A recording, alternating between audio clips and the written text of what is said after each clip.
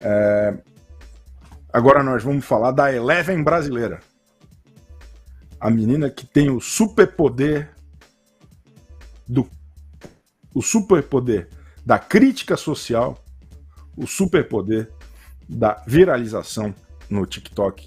Eu estou falando dela, Raicinha PVP, nossa convidada especial nesse, nesta sexta-feira aqui do Central Maravilhosa! Raiz, Raíssa Castro. Já, ô, ô, ô, Raicinha, acho que a senhora está sem áudio. Vamos, vamos ver, tenta falar com a gente. Ó, ela tá sem áudio, mas é a primeira vez, é a primeira entrevista online dela. Natural, natural que isso aconteça. Ó, estamos ao vivo. Não, deixa lá, deixa. Vamos, vamos, vamos mostrar os bastidores da, da, da, da estreia. Raicinha totalmente é, é, sem Não jeito. Não sei onde clica. Agora, ah, agora foi. Pronto. Deixa eu ouvir. Tá me ouvindo? Sua, suas primeiras palavras foram não sei onde clica. Eu, já começou bem. Tá me ouvindo agora? Começou. Perfeitamente. Perfeitamente. Ai, graças, graças a Deus. Boa. O Raicinha PVP, bem-vinda. Uma honra conversar com a, a, a, brasileira da semana, a pessoa mais importante do momento, Raicinha PVP. E aí, gente? Meu Deus, que nervoso. Me, me conta uma coisa, Raicinha. A primeira coisa, né, que a gente tá todo mundo perguntando aqui é o que é esse PVP? A gente pode falar o que é? O quê? É, o que é porque não, é porque eu fazia live jogando sempre vídeo, só que eu não tinha público nenhum existente. Aí eu fazia live e aí é player versus player, que significa, no caso, né? Se traduzir é um jogador contra o outro. Aí eu botei Raicinha PVP, é meu nick no jogo, aí botei no TikTok e os outros não eram, mas agora eu vou mudar tudo pra Raicinha PVP, porque todo mundo me chama de Raicinha PVP agora. O, o Raicinha PVP, e que, qual é o jogo? Eu não ouvi. Eu jogo COD. Jogava Fortnite também. Quando eu botei o nick, eu jogava Fortnite. Ah, então é uma, é uma, é uma youtuber gamer, é isso. Eu sou gamer, jogo mal, mas sou gamer. Caramba, fascinante, impressionante. O, o, o Raicinha, ontem aconteceu um, um, um, negócio muito impressionante com a senhora. É, tá, tá acontecendo um, ainda. A senhora fez um desabafo muito importante a respeito de um... Foi, foi um feedback para Vanessa... É Vanessa Lopes o nome daquela cidadã? Foi, foi um é. feedback é. a respeito dela, que a senhora ficou indignada do fato de alguém tem o mundo aos seus pés, ficar de algum tipo de, de chororô. É, é, a senhora não gostou dela mostrar alguma vulnerabilidade. E a senhora fez aquele vídeo é, muito impactante que viralizou e transformou a, a, a, as suas últimas horas. Foi, foi, foi mais ou menos isso que aconteceu? Foi, na verdade, o que a galera não entendeu é que o meu problema definitivamente não é com a Vanessa Lopes. Eu adoro a Vanessa Lopes, inclusive eu sigo a Vanessa Lopes. Não teria por que eu fazer um vídeo falando da Vanessa Lopes e seguir a Vanessa Lopes. O já começou de era... falsidade. Não, pera aí, Raíssa. Não, falsidade não. Se tu vê o vídeo, não, eu, falei não vamos estrear, Não vamos estrear como celebridade. Eu falei no vídeo. Eu falei, no ah. vídeo, meu problema não é com ela. O problema é com a desigualdade mesmo, né, cara? Tipo, ela não tem culpa, ela tá se dando bem, tá ganhando dinheiro dela, e é isso aí, eu faria o mesmo. Se eu pudesse ter a vida dela, eu teria. Mas tem gente passando fome, entendeu? A galera tá achando que. Eu fiz o vídeo justamente porque tinha muita gente me dando hate falando que eu tava com inveja da Vanessa, que eu queria ser a Vanessa. Não neguei que eu queria ser a Vanessa, a galera não deve ter visto o vídeo todo. Mas enfim, é isso, entendeu? O problema é com a desigualdade mesmo. Não acho justo, porque tem gente que não tem uma vida digna e a Vanessa Lopes tá ganhando 3 milhões pra ganhar, para dançar. Não só a Vanessa Lopes, né? Um monte de TikToker aí. Tomara que eu seja uma, brincadeira. Quero não. Ô, mas, mas então... Fala, Lucas. É, mas agora tudo mudou, né? Porque agora a senhora tá famosa aí. E eu acho que esses públicos de 3 mil reais e mais vão aparecer em algum momento, né? Se, se é que já não apareceram. O que, que muda nada, a partir agora? Ah, eu não sei, eu espero que muita coisa, principalmente minha conta bancária, mas acho que não sei. É, não apareceu nada, eu tô levando na brincadeira mesmo, porque de início eu acho que tá, tá tudo. Eu não tô acreditando que tá acontecendo, não. Pra mim, ainda tô levando a brincadeira. Acho que tô zoando, tô respondendo a galera. Pra mim. Sei lá, pra mim tá sendo muito divertido agora. Eu não tô pensando em dinheiro, não tô pensando em fama, não tô pensando em nada. Eu tô só realmente me divertindo por isso que tudo tá acontecendo. Então, sei lá, eu nem sei o que esperar, eu nem sei, nem juro, não sei.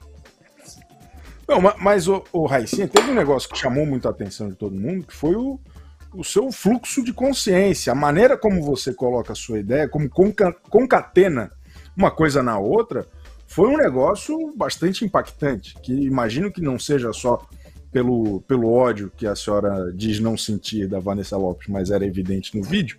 É, tem, tem, um, tem um, um ritmo e uma poesia aí, né? Então, a, a, sua ideia é ser mais ou menos, por exemplo, agora o Felipe Neto do século XXI.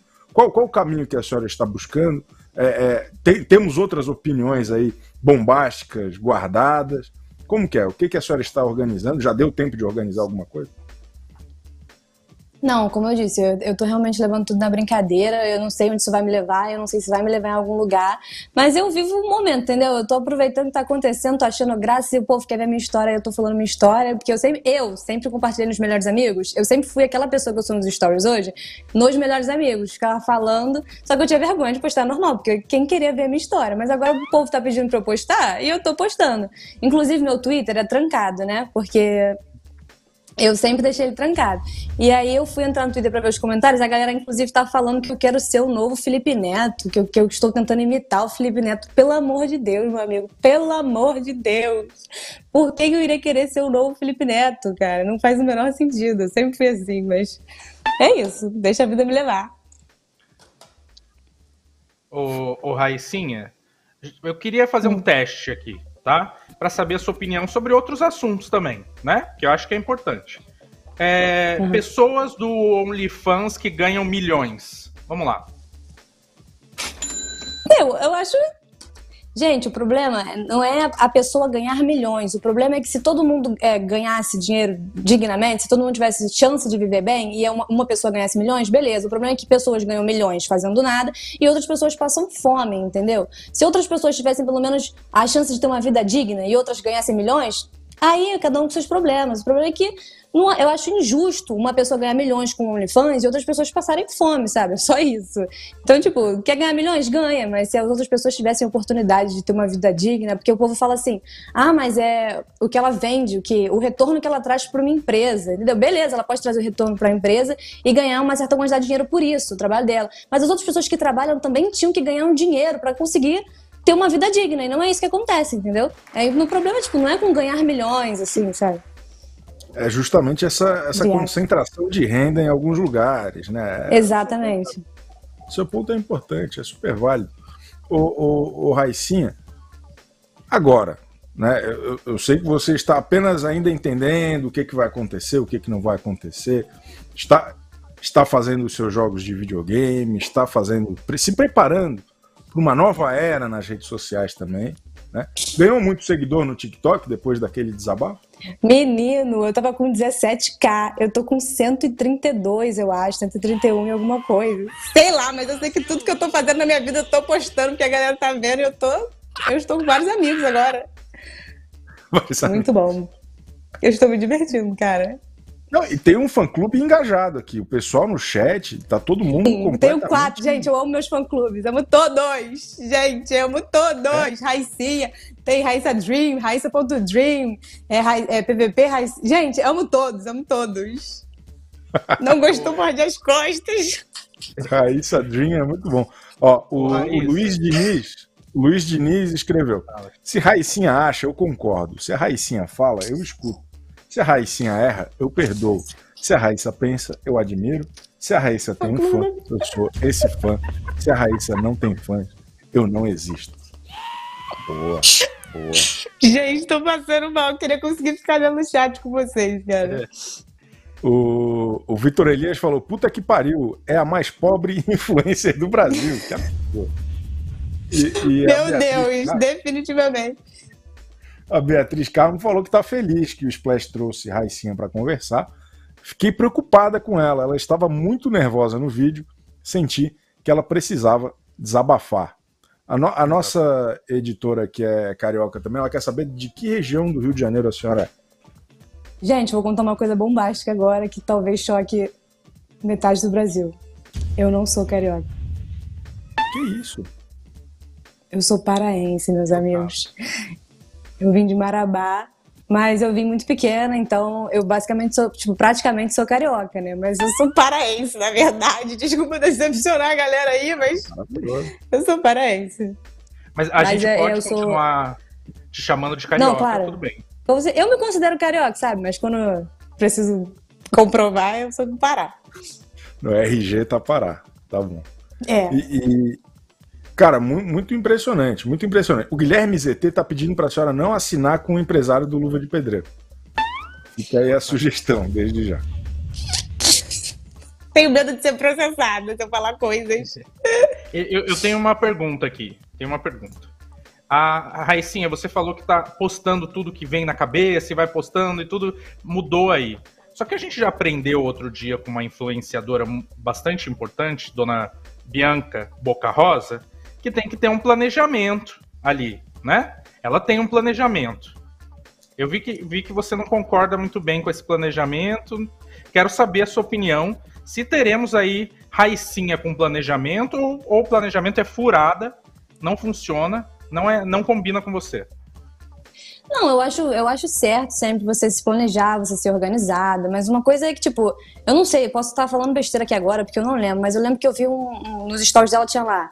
É, um story brincando com um bebê. Eu acho que as coisas tinham que ser naturais, entendeu? Se ela quer brincar com o bebê e quer apostar, ela tá se divertindo brincando com o bebê, vai lá e posta ela brincando com o bebê. Eu vou pegando um ônibus, ai meu Deus, eu vou pegar um ônibus aqui agora, vou fingir que aconteceu uma situação, não vou gravar. Sabe, acontece e eu vou lá e gravo. Eu acho que, tipo assim, beleza, você tem um cronograma, ah, tenho que postar tantos stories, mas assim, são stories que para mim tinham que ser naturais, não você planejar, tipo, nossa, eu tenho que brincar com o bebê agora para gravar um story, porque, porque aí já fica um bagulho que tipo, parece que você não tá fazendo porque você quer fazer, você tá fazendo para ganhar engajamento, e para mim você tinha que compartilhar a tua vida ali, no momento que tá acontecendo, e se o povo quer ver, ver, e é isso, sabe, fica... Mas se planejar, ter um cronograma, como a Vanessa Lopes lá, tem que postar quatro tweets, beleza. Mas posta se tiver que postar. Agora, se infelizmente não deu pra postar quatro tweets, amiga, acontece. Mas o quê? Bola pra frente. Mas o, o Raicinha, hoje, hoje a senhora trabalha com, com alguma. Qual a sua ocupação hoje em dia? Eu sou estagiária. A classe dos estagiários. Mas, mas de que área do, conhecimento humano? Do direito. Por incrível direito. que pareça. Direito, direito. Se alguma coisa acontecer, por exemplo, né, a senhora continuar bombando, naturalmente, a senhora vai migrar para este universo digital e isso vai ser o seu ganha-pão. Não é verdade? Sim. E aí, eventualmente, talvez a senhora vá ter que, que se organizar tal qual Boca Rosa. A Boca Rosa, por causa do seu vídeo, ela veio a público falar: Vanessa Lopes merece respeito, Vanessa Lopes tem que se programar. A senhora viu isso? A Boca Rosa defendeu Vanessa Lopes depois da sua manifestação. A senhora então eu imagino que daqui a uma semaninha, depois que a senhora já tiver assinado lá com o Alan Jesus, é, inevitavelmente a senhora vai ter uma programação de falar, não, eu preciso, preciso me manifestar a respeito disso, preciso é, é, fazer carinho no cachorro, tal, talvez isso tenha que acontecer. Porque é, é, não, faz sentido, é, é um trabalho, é, o ganha-pão das pessoas, não, não faz sentido elas se organizarem, ou a senhora mantém firme o seu, o seu, a sua declaração anti-organização? Não, não, minha declaração é anti-organização. eu, tenho, eu, eu tenho consciência de que tem que se organizar, tem que ter planejamento, senão também vai ficar tudo zoneado, não vai dar certo. Tem que sim ter uma rotina, mas o, o que eu sou contra, assim, eu, eu contra alguma coisa. Minha opinião, sabe? Eu sou contra você forçar uma situação para gravar um story. Pra mim, tipo, ah, eu tenho que gravar quatro stories. Beleza, grava um story de alguma coisa que você quer falar, ou grava um story de alguma pública que você quer fazer. Tudo bem, tem que se programar. Agora, você, ah, eu vou, vou fazer carinho no Obina aqui agora porque tá no meu conteúdo que eu tenho que fazer carinho. Obina é meu cachorro, desculpa, eu já Obina? falo como se vocês conhecessem. como se vocês conhecessem. Falei como se vocês conhecessem, fosse íntimo. Obina, eu achei, eu achei que a senhora é... era amiga do jogador. Não, o Obina é meu cachorro. Aí, tipo, eu não vou ai, ficar falsamente fazendo carinho no meu cachorro, porque eu tenho que gravar um story que eu anotei lá no papel que eu tinha que fazer carinho no Obina. Entendeu? Eu acho que se for fazer carinho no meu cachorro e eu gostei que eu tô fazendo, vou gravar, beleza. Mas sou contra falsas ideias. Tipo assim, você fingir que tá se divertindo com algo, você fingir que está fazendo algo muito legal e na verdade você tá nem aí, entendeu? Eu sou contra isso. Aquele negócio vazio, né? É, é interessante. Isso. A Boca Rosa, ela, ela fala um negócio interessante que é assim, ó, é, intencional não é forçado. Você saber que quer fazer uma coisa não quer dizer que você está sendo falso. Você apenas está se organizando. Mas, enfim, talvez. É, é, eu, eu, o meu sonho é um debate Raicinha e Boca Rosa. E é por isso que agora vai entrar aqui a gloriosa Bianca Andrade para discutir com Raiz. Não, tô brincando. É, olha só. Boca Rosa manda maquiagem. Manda, manda maquiagem, é maravilhoso. Mandaram aqui um superchat. O Danilo Dias mandou: Raicinha PVP é a minha religião. Que alegria. Boa. Ai, adoro, gente, meus amigos proletariados. Olha só, tem muita gente, o, o Raicinha, a Samara Revoredo, o Wesley Almeida, a Laura Salles, todo mundo mandando uma hashtag Chico paga Chico paga Uber. O que, que é Chico paga Uber? O que, que isso quer dizer? A senhora poderia explicar o que, que isso quer dizer? Gente, sabe por quê? Eu trabalho, não sei se vocês sabem, há, há tão, tão distante. Trabalho lá no Reino do Shrek eu moro em Realengo. Então, para eu voltar para casa e chegar às seis horas, eu tinha que ter saído de lá umas, umas três e pouca. Eu saí de lá quatro e meia. E não tinha como pegar os três horas e chegar em casa às seis horas. Eu tive que vir de Uber. E o Uber é 50 reais. Mas tudo bem, fazer o quê? É o e preço da fama aí, ó. Será que realmente Barney... tá valendo a pena? Chico Barney pagar esse Uber.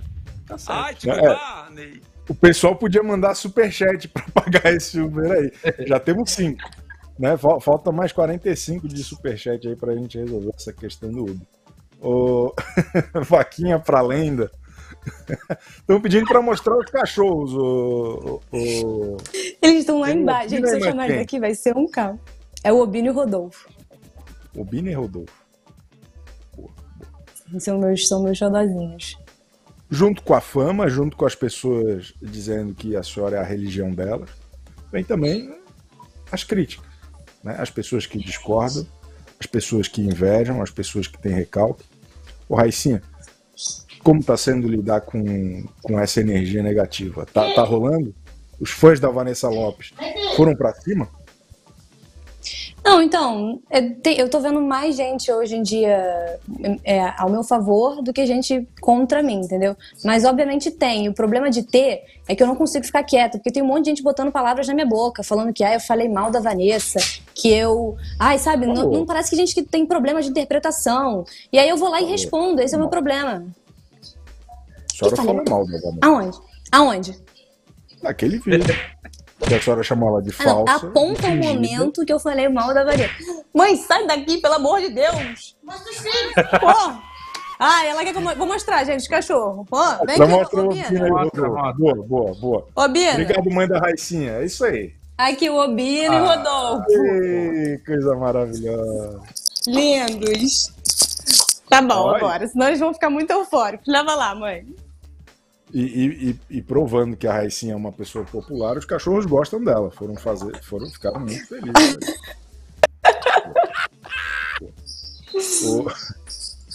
o, o, a, a Juliana Gonçalves, gente, a mãe dela é tão lenda quanto ela. Ai, minha mãe, é, minha mãe é um caos, gente. Minha mãe é um caos. Por falar nisso. Mãe, sai daqui! Oh, maravilhoso. Como é o nome chama da mãe, mãe? Chama a mãe pra participar, a gente o é, apresenta... Mãe. Vem aqui, ô, ô mãe. Apresenta... Gente, por favor, sejam breves, senão ela vai. Boa. É mesmo?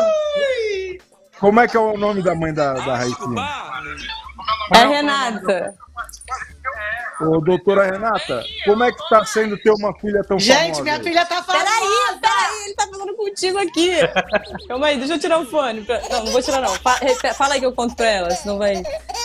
É, eu, eu, queria saber o que, que ela tá achando da fama repentina da filha. O que você tá achando da minha fama repentina? Não é fama repentina, ela já é famosa há muito tempo. Fama... Vocês descobriram ela só agora. Ela já era famosa. famosa ninguém, né? Vai para o Big Brother. Olha. Ela... Você gostaria de ir pro Big Brother ou, Raíssa?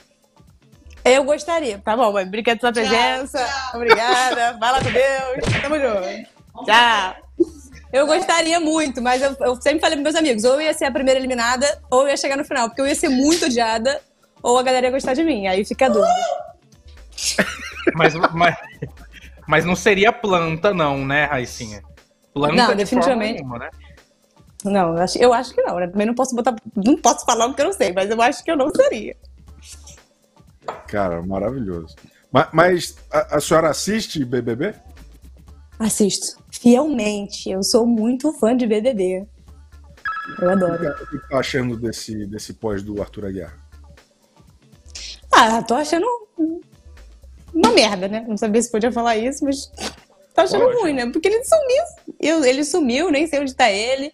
E eu não queria que ele ganhasse, mas também não queria que ninguém ganhasse por mim ali, tá? O BBB ali por mim ninguém ganhava, ia todo mundo embora, fechava o BBB e começava outro. Você não tinha um preferido ali, uma preferida? Gente, não tinha como. Esse BBB foi o BBB, sei lá, ruim mesmo, muito ruim. Maravilhoso. Queria, queria voltar a convidar todo mundo que está assistindo a gente hoje. Estamos com dois maracanãs lotados aqui. A deixar o like. Você que está prestigiando esta entrevista bombástica. Entrevista histórica com a Raicinha PVP e sua mãe Renata, e o Obina, e o Rodolfo. Tá todo mundo aqui hoje. Nós estamos realmente conhecendo um pouco melhor a nossa querida Raicinha PVP. É, tem, o, o, o Matheus, o Bernardo, tem uma galera muito esquisita, o, o, o, o Raicinha, pedindo para mandar um beijo pro Caiu no Mar. O que, que é o Caiu no Mar? Ai, gente, é um grupo que a gente tem, dia que a gente joga, né? Então a gente tem uma party no PS4, a gente sempre tá jogando junto. E aí o nome do grupo é Caiu no Mar, porque aconteceu uma coisa na missão lá, o avião caiu no mar, e aí ficou Caiu no Mar, e a gente criou um beijo pro Caiu no Mar. Meu Deus, para de flodar isso aí no chat. a, a Luísa Hermínio gente, também tem... saber... Pode falar. Eu ia citar ela agora, inclusive, o grupo dela, que o nome do grupo é Aglomeração. Inclusive, a gente comentava muito sobre o BBB naquele grupo. Luísa dava opiniões muito polêmicas, que eu não posso citar aqui, senão vai dar problema. Mas um beijo também pra esse outro grupo aí, fãzíssimo de BBB, Fiel. Fiel. Fiel. tá bom. Fiel. Raicinha, você não gostou do BBB 22, mas deve ter gostado aí de outras edições, 21, 20, né? Você tem uma ex-BBB ou um ex-BBB que é o seu preferido? Mãe, pelo amor de Deus! Falei que não pode dar quarto pra minha mãe, que ela tá vendo as coisas que ela faz? É... Eu, eu até. Ah, ex-BBB preferido? É. Acho que o Babu. O Babu é o meu ex-BBB preferido, junto com o Prió também, porque acho que eles faziam uma dupla muito boa e acho que foi um dos, dos melhores bebês ali. O Babu e o Prió não dá, era, era muito bom de acompanhar, eu adorava. Apesar de eu passar muita raiva, eu gostava muito do, em algumas partes do Babu e do Prió. Boa, boa. E, e gostou da, da vitória da Juliette? Ah. não, né? Não? Eu achava ela. Não. É que eu não gostava dela na casa, não. Eu achava ela bem chata, inclusive. Eu acho que conviver com ela devia ser. É impossível uma casa inteira achar a convivência com uma pessoa ruim e a pessoa ser realmente a pessoa boa de convivência. Então acho que a galera começou a ver coisas que não tinha. Tipo, beleza, depois de um tempo eu comecei a achar que realmente o povo tava, tava massacrando ela de, em alguns momentos que não tinha necessidade, o povo começou a ser ruim com ela, e aí a partir desse momento eu falei, ah, sabe? Não tinha também, não lembro, não lembro também se tinha alguém melhor para ganhar, mas enfim. Eu só achava que o povo ficou falando que ela era legalzíssima, nossa, que, que sabe, eu não achava ela tão legal assim quanto o povo falava. Eu achava que conviver com ela devia ser realmente algo não tão legal assim. Eu não ia gostar, eu acho.